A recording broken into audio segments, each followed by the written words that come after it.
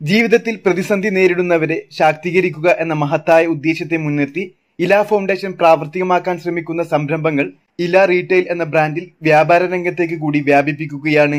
ഇതിന്റെ ഭാഗമായി ആരംഭിക്കുന്ന മൂന്നാമത്തെ സ്ഥാപനം പവിത്ര സ്റ്റോർ എന്ന പേരിൽ തവനൂർ പഞ്ചായത്തിൽ എം ഇ എസ് ആർക്കിടെക്ചർ കോളേജിന് സമീപം താമസിക്കുന്ന ശബരി ഗിരീഷിന് വേണ്ടി അദ്ദേഹത്തിന്റെ വീടിനോട് ചേർന്നുള്ള കെട്ടിടത്തിൽ മാർച്ച് ഇരുപത്തിയാറിന് ഞായറാഴ്ച കാലത്ത് പത്തു മണിക്ക് ഡോക്ടർ കെ ടി ജലീൽ എ തുടക്കം കുറിക്കുന്നു. നമ്മളിങ്ങനെ സാധാരണ പത്രസമ്മേളനങ്ങൾ നടത്തിയിട്ട് പരിചയമില്ല ജില്ലയിൽ കൂടുതലായിട്ട് ഇങ്ങനെ പത്ര ഈ കുറച്ച് നേരത്തെ സൂചിപ്പിച്ച പോലെ ഏഴെട്ട് വർഷമായിട്ട് ഈ ബിൽഡിങ്ങിലോട്ട് മാറിയിട്ടുണ്ടെങ്കിലും ഉദ്ഘാടനമാണ് ഒരു പബ്ലിക് ഫംഗ്ഷനായിട്ട് ടൗണിൽ നടത്തിയിട്ടുള്ള സംവിധാനത്തിന് ശേഷം ആദ്യമായിട്ടാണ് ഒരു പത്രസമ്മേളനം വിളിച്ച് ഇങ്ങനെ ഒരു പരിപാടി നടത്തുന്നത്. അത് വളരെ പ്രധാനപ്പെട്ട ഒരു കാര്യമാണ് എന്ന ഒരു കാര്യം കൊണ്ട് തന്നെയാണ്. അത് നമ്മൾ റീഹാബിലിറ്റേഷൻ എന്ന് നമ്മളൊക്കെ പാലിറ്റീവ് ഒരു സാന്ത്വന ചികിത്സ ഒക്കെ വളരെ ഇരുപത് പത്തിരുപത്തിനാല് വർഷമായിട്ട് വളാഞ്ചേരിയിലും കുറ്റിപ്പുറത്തും ഒക്കെ ഒരുമിച്ച് ഒരേ സമയത്ത് തുടങ്ങിയതാണ്. കുറ്റിപ്പുറത്ത് ഇലയുടെ നേതൃത്വത്തിൽ തന്നെയാണ് അന്ന് തുടക്കം കുറിച്ചിട്ടുണ്ടായിരുന്നത്. അത് വ്യത്യസ്തമായ മേഖലകളിലോട്ട് ഒരു പ്രാർത്ഥ ഇതൊക്കെ ഇലയുടെ പ്രവർത്തനങ്ങൾ നമ്മുടെ ഈ ചുറ്റുവട്ടത്തുള്ള വിദ്യാർത്ഥികൾക്ക് കുട്ടികൾക്ക് അധ്യാപകർക്ക് എല്ലാം ഇവിടെ ഇങ്ങനെ ആളുകൾ സന്ദർശിച്ചു പോകുന്ന ഒരു ഇടമായിട്ട് ഇത് മാറാനുള്ള ഒരു കാരണം. ആർക്കും കയറി വരുന്ന ഒരു ഇടം. അത് പാലിയേറ്റീവ് കെയറിന് തുടക്കം കുറിച്ച് ഡ്രഗ് ഡ്രഗ് അഡിക്റ്റുകളായിട്ടുള്ള ആളുകൾ മയക്കുമരുന്നിന് അടിമപ്പെട്ടവര് അവരെല്ലാം മനുഷ്യരായിട്ട് കണ്ടുകൊണ്ട് അവരെ സമൂഹത്തിന്റെ ഒരു ഭാഗത്തായി തിരിച്ചു കൊണ്ടുവരാൻ കഴിയുന്ന ഒരു ഇടമായിട്ട് കൊണ്ടുവന്നുള്ളതാണ് കൃത്യമായിട്ട് ഇതിനെ എന്താണ് എന്ന് പറയാൻ ആർക്കും ഞങ്ങൾക്ക് തന്നെ കഴിയില്ല. ഇതിന്റെ സംഘാടകർക്ക് കഴിയില്ല എന്നുള്ളത് ഒരു പാലിറ്റീവ് കെയർ സെന്റർ ആണോ റീഹാബിലിറ്റേഷൻ ആണോ വൃദ്ധസദനമാണോ ഡയാലിസിസ് സെന്റർ ആണോ ചികിത്സ കൊടുക്കുന്ന ഇടമാണോ അനാഥ മന്ദിരമാണോ ഇത്തരം കാര്യങ്ങളൊക്കെ പല വിധത്തിൽ നടത്തിക്കൊണ്ടിരിക്കുന്ന ഒരു ഇടമാണ് ഇല.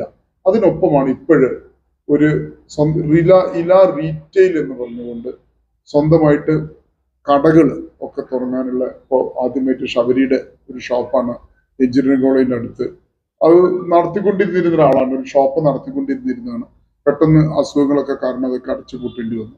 അപ്പോൾ നമ്മൾ ശുശ്രൂഷിക്കുന്നതിനപ്പം സമൂഹത്തിലോട്ട് തിരിച്ചു കൊണ്ടുവരുന്നതിന്റെ ഒരു മാർഗം കൂടി ആയിക്കൊണ്ട് സ്വന്തമായിട്ട് ഒരു കട അവിടെ തുറന്ന് പ്രവർത്തിക്കുകയാണ്. സത്യത്തിൽ ആ ഞായറാഴ്ച K T Jaleel M L A Tamil Nadu M L A കൂടെ ആയിട്ടുള്ള കെ ടി ജലീലാണ് ആ സ്ഥാപനം ഉദ്ഘാടനം ചെയ്തത്.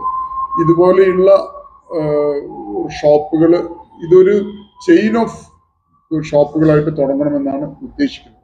ഇപ്പോ തന്നെ നമ്മൾ ഫോറം മാളിൽ എടപ്പാളിൽ ഇല റീറ്റെയിൽ എന്ന് പറഞ്ഞുകൊണ്ട് പ്രത്യേകിച്ച് ഒരു ഷോപ്പ് നടക്കുന്നുണ്ട്. ആൻഡൻ ആൻഡൻ ആൻഡ് ലീഫ് എന്ന് പറഞ്ഞിട്ടുള്ള ഒരു ബ്രാൻഡ് അതായത് ഈ കോട്ടൺ തിരുപ്പൂർ മേഖലയിലൊക്കെ വളരെ ഒരു നോർത്ത് ഇന്ത്യയിലൊക്കെ വളരെ ചുരുങ്ങിയ ചെലവിൽ നിന്നാണ് ഈ കോട്ടൺ തുണി ഉണ്ടാക്കുന്നത്. വലിയ വിലക്കാണ് അത് പുറത്ത് വിൽക്കുന്നത്. അപ്പൊ അത് ഒരു ബ്രാൻഡഡ് ആയിക്കൊണ്ട് ചെറിയ കുട്ടികൾക്കുള്ള വസ്ത്രങ്ങളായിക്കൊണ്ടിട്ടുള്ള ഒരു കമ്പനി രൂപീകരിച്ചിട്ടുണ്ട്. ഇത്തരം കിട്ടുന്ന വരുമാനം അപ്പോ ഒരു ചാരിറ്റി എന്നുള്ള ഒരു പ്രവർത്തനം അങ്ങനത്തെ ഒരു സാധനം ഇ എസ് നമ്മൾ പലപ്പോഴും പറഞ്ഞുകൊണ്ടിരിക്കുന്ന ഒരു സാധനം. അതിനപ്പുറം നമ്മൾ അത് എല്ലാവരെയും സ്വയം നിൽക്കാൻ പ്രാപ്തരാക്കുന്ന ഈ ഒരു സോഷ്യൽ എന്റർപ്രൈസ് എന്നുള്ള സത്യത്തിൽ ഇപ്പൊ അതിനെ കുറിച്ച് പറയേണ്ടത്. നമ്മൾ സാധനങ്ങൾ ഉണ്ടാക്കി വിറ്റ്. ഇപ്പൊ എല്ലാം എപ്പോഴും ആളുകൾ ഇടുന്ന ഡൊണേഷൻ വാങ്ങിച്ചുകൊണ്ട് ഈ സാധനങ്ങളൊക്കെ നടത്തിക്കൊണ്ടിരിക്കുന്ന ഒരു പ്രസ്ഥാനത്തിന് ഉപരിയായിക്കൊണ്ട്. ഇതിൽ നിന്ന് തന്നെ നമുക്ക് കിട്ടേണ്ട വരുമാനങ്ങൾ ആളുകൾ ആളുകളിൽ നിന്ന് ഇപ്പൊ ആൻഡ് ലീഫ് എന്നൊരു പ്രൊഡക്റ്റ് ഉണ്ടാവുകയാണെങ്കിൽ ഇത് വാങ്ങിച്ചു കഴിഞ്ഞാൽ ഒരുപാട് മനുഷ്യന്മാർക്ക് ഗുണം ചെയ്യാൻ പോകുന്ന ഒരു സന്ദർഭമാണ്. അല്ലെങ്കിൽ ശബരിയുടെ ഷോപ്പിൽ നിന്ന് സാധനം വാങ്ങിക്കുമ്പോൾ അത് ശബരിക്ക് മാത്രമല്ല ശബരിയെ പോലെയുള്ള ഒരുപാട് ആളുകൾക്ക് ഉപകാരപ്പെടുന്ന ഒരു സംവിധാനമാണ് എന്ന നിലയിലോട്ടുള്ള ഒരു സംരംഭമാണ് തുടങ്ങുന്നത്. അതിന് എല്ലാവരുടെയും പ്രോത്സാഹനങ്ങളും അതുപോലെയുള്ള ഇത് മുന്നോട്ട് കൊണ്ടുപോകാനുള്ള എല്ലാ പരിശ്രമങ്ങൾക്കും കൂടെ ഉണ്ടാകണമെന്ന് പറയാൻ വേണ്ടിയിട്ടാണ് ഇന്നത്തെ ഈ പത്രസമ്മേളനം. അതിൽ ആദ്യത്തെ ആളുകൾ അടുത്ത ആഴ്ച വരെ താമസമാണ് പക്ഷെ അതൊരു ഔദ്യോഗികമായിട്ടുള്ള ഒരു ഉദ്ഘാടന പരിപാടികളൊന്നും ഇല്ല. നമ്മൾ ബാക്കിയുള്ള പരിപാടികൾ അത് ഇരുപത്തിയഞ്ച് കുടുംബങ്ങൾ അമ്പത് കുടുംബങ്ങൾക്ക് അമ്പത് ഭാര്യ ഭർത്താക്കന്മാർക്ക് താമസിക്കാനുള്ള ഭക്ഷണവും സൗകര്യവും ഒക്കെ കൊടുത്തുകൊണ്ട് താമസിക്കാനുള്ള ഒരു സജ്ജീകരണം. ഒരു ഒരു മാസത്തിനുള്ളിൽ അത് ഫുൾ റെഡിയാവാനുള്ള എല്ലാ പ്രാരംഭ പണികളൊക്കെ കഴിഞ്ഞിട്ടുണ്ട്. കുമ്പിടിയിലാണ് പുനരധിവാസ പദ്ധതിയിൽ ഉൾപ്പെടുത്തി നിരവധി കുടുംബങ്ങളുടെ ദൈനംദിന ആവശ്യങ്ങളെ നിറവേറ്റി മുന്നോട്ട് കൊണ്ടുപോകുന്നത് ഇലയുടെ നിരവധി പ്രവർത്തനങ്ങളുടെ ഭാഗമാണ്. അതിൽ നിന്നും വ്യത്യസ്തമായ രീതിയിൽ പ്രയാസമനുഭവിക്കുന്ന വ്യക്തിയും കുടുംബവും സ്വയം പര്യാപ്തമാക്കുക എന്ന ലക്ഷ്യത്തിലേക്കാണ് ഇല റീറ്റെയിൽ ശ്രദ്ധ കേന്ദ്രീകരിക്കുന്നത്. കുറ്റിപ്പുറത്തും എടപ്പാളും ഫോറം സെന്ററിലും നിലവിൽ റീറ്റെയിലിന്റെ ഷോപ്പുകൾ പ്രവർത്തിക്കുന്നുണ്ട്. കുറ്റിപ്പുറത്തെ സ്ഥാപനത്തിൽ നിത്യോപയോഗ സാധനങ്ങളുടെ വിൽപ്പനയാണ് നടക്കുന്നത്. അടുത്ത രണ്ട് ഇല റീറ്റെയിലുകൾ തൃശൂരിലും കോഴിക്കോടും ആരംഭിക്കാനാണ് ഉദ്ദേശിക്കുന്നത്. ഇവിടെ പാനീയങ്ങൾ ബിസ്ക്കറ്റുകൾ അച്ചാറുകൾ തുടങ്ങിയവയാണ് ഉൽപ്പാദിപ്പിക്കുന്നത്. എടപ്പാൾ ഫോറം സെന്ററിൽ പൂർണമായും ഒരു തരത്തിലും അസംസ്കൃത വസ്തുക്കൾ ഉപയോഗിക്കാതെ ഉൽപ്പാദിപ്പിക്കുന്ന സ്കോഷുകളാണ് വിൽപ്പനക്കുള്ളത്. ഇവിടെ ഫാർമാഷെയർ ഫൗണ്ടേഷൻ ഉൽപ്പാദിപ്പിക്കുന്ന ഓർഗാനിക് ഭക്ഷ്യവിഭവങ്ങൾ കൂടി വിൽപ്പന നടത്തുന്നുണ്ട്. ഈ രണ്ട് സ്ഥാപനങ്ങളുടെയും നടത്തിപ്പ് ചുമതല ബിരുദ കോഴ്സ് ചെയ്യുന്ന വിദ്യാർത്ഥികളായിട്ടുള്ള വളണ്ടിയർമാർക്കാണ്. സ്ഥാപനങ്ങളിലെ ലാഭവിഹിതം ഇവരുടെ ആവശ്യങ്ങൾക്ക് കൂടി വേണ്ടിയുള്ളതാണ്. ഏതെങ്കിലും തരത്തിൽ പഠനത്തിനും മറ്റും ബുദ്ധിമുട്ടുന്നവർക്കും അഭ്യസ്തവിദ്യരും അല്ലാത്തവരുമായ ജോലിക്ക് വേണ്ടി ശ്രമിക്കുന്നവർക്കും അവരുടെ കഴിവ് പ്രകടിപ്പിക്കാനും വരുമാനമാർഗത്തിനും ഇല റീറ്റെയിൽ അവസരമൊരുക്കുന്നുണ്ട്. ഇല പ്രവർത്തകരായ Sabari Girish K M Najeeb doctor N M Mujeeb Rahman Anoop Kumar P C Saleem P A S Ulfikar തുടങ്ങിയവർ പദ്ധതി പ്രവർത്തനങ്ങൾ വിശദീകരിച്ചു. സമ്മേളനത്തിന്റെ കാര്യം തന്നെ ഇലയിൽ ആദ്യമായിട്ടാണ് ഇങ്ങനെ ഒരു പത്രസമ്മേളനം നടക്കുന്നത്. അതിന്റെ ഒരു പ്രധാന കാരണം ഇല റീറ്റെയിൽ എന്ന് പറയുന്ന ഒരു പുതിയ സംരംഭത്തിലേക്ക് കടക്കുന്നതിന്റെ ഭാഗമായിട്ടാണ്.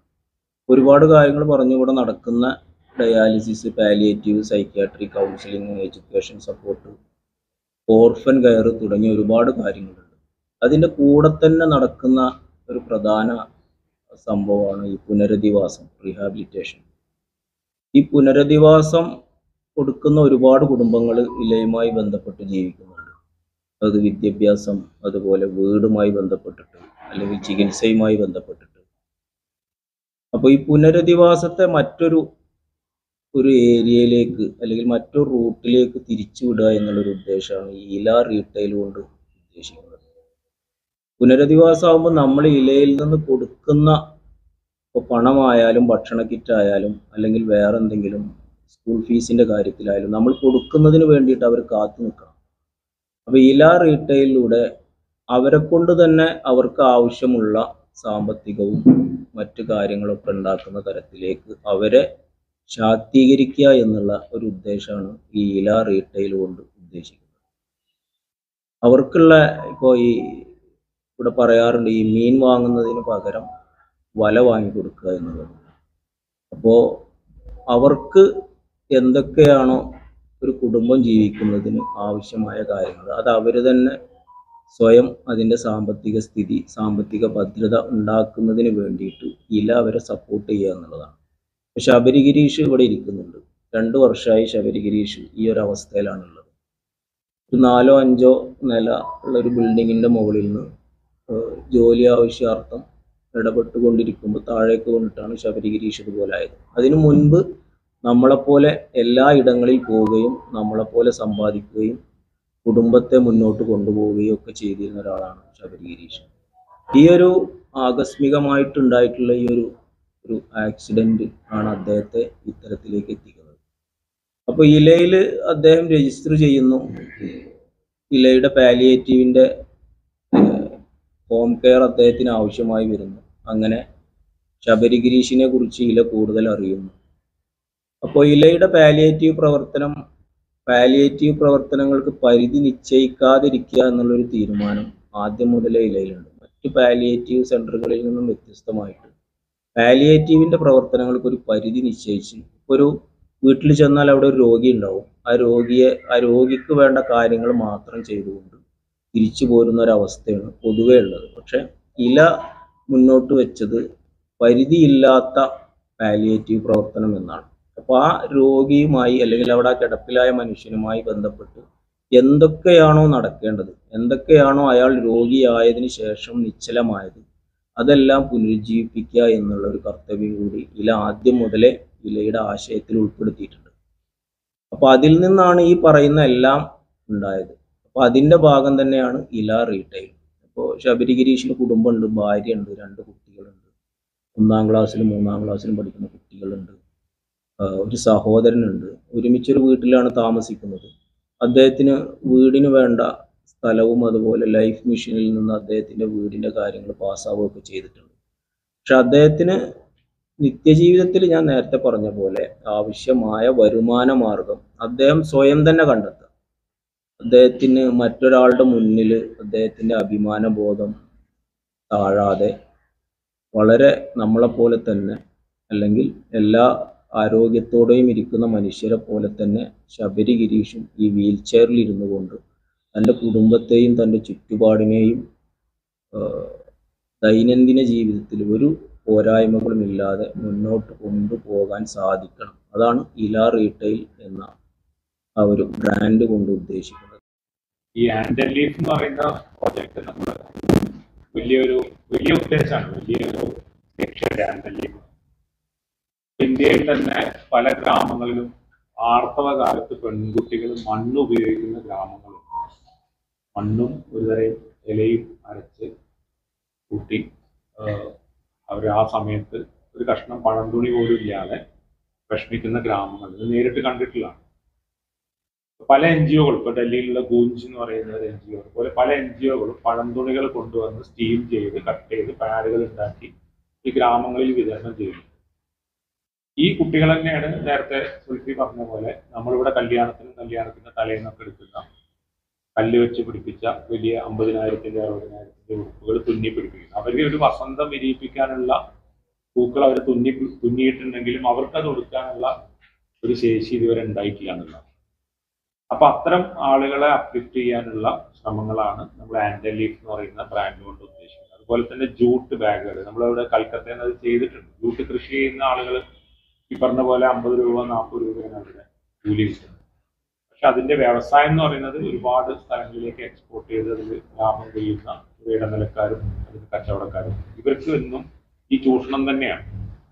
അപ്പൊ അത്തരത്തിലുള്ള പ്രവർത്തനം അതുപോലെ തന്നെ ഇപ്പൊ നേരത്തെ പറഞ്ഞ പോലെ ഓർഗാനിക് ആയിട്ടുള്ള ഉടുപ്പ് നമ്മൾ ചെയ്യാൻ തീരുമാനിച്ചിട്ടുണ്ട്.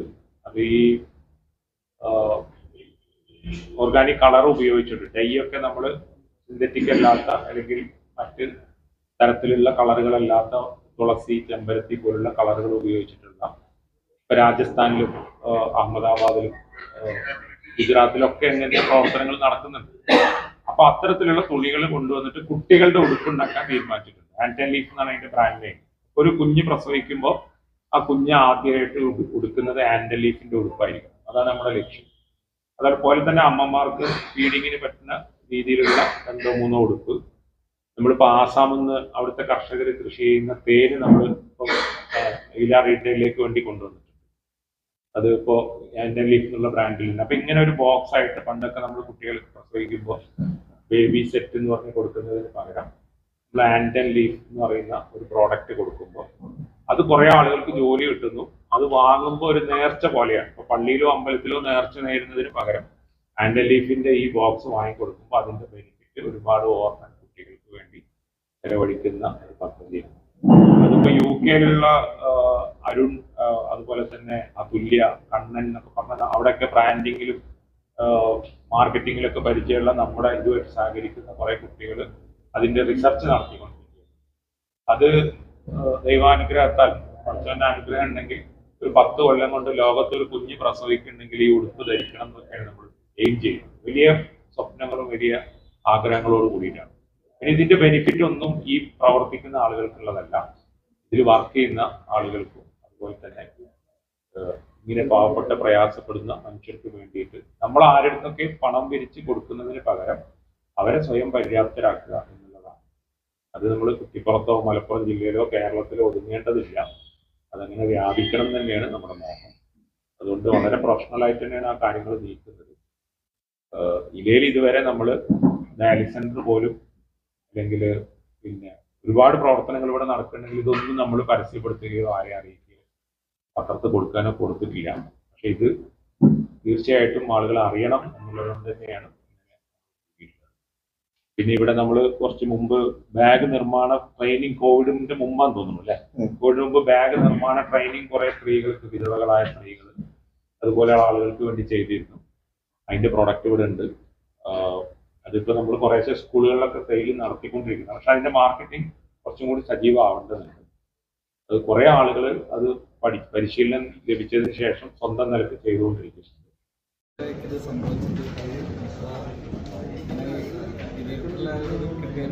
പിന്നെ നമുക്ക് പറ്റിയ സമയത്തൊക്കെ കുറേ സുഹൃത്തുക്കളും ആൾക്കാർ ചെറിയ ചെറിയ സഹായങ്ങളും കാര്യങ്ങളൊക്കെ ഉണ്ടായിരുന്നു പറ്റി കഴിഞ്ഞ് കുറച്ച് ഒരു ആറ് മാസം കഴിഞ്ഞതിന് ശേഷം തന്നെ ചികിത്സയും കാര്യങ്ങളൊക്കെ ആയിട്ട് കുറേ ബുദ്ധിമുട്ടിലായി. കട ആദ്യം നടത്തി ചെറുതായിട്ടൊക്കെ നടത്തി വന്നിരുന്നു. പിന്നെ അതൊക്കെ കുറേ ബുദ്ധിമുട്ട് തന്നെ തുറന്നു പോകാൻ പറ്റാത്തൊരവസ്ഥയ്ക്ക് എത്തി. അങ്ങനെ കട അടയ്ക്കേണ്ടി വന്നു. ഇങ്ങനെ അവസ്ഥ ആയതിനു ശേഷം കടയിൽ കയറി പോകാനും ഒന്നും പറ്റാത്തൊരു ഇതായിരുന്നു പിന്നെ ഇപ്പം ഇങ്ങനെ ഇലയിനായിട്ട് ബന്ധപ്പെട്ടതിന്റെ ആവശ്യം. എല്ലാവരുടെയും സഹായം കാരണം പതുക്കെ ഓപ്പൺ ചെയ്യാൻ സന്തോഷമുണ്ട്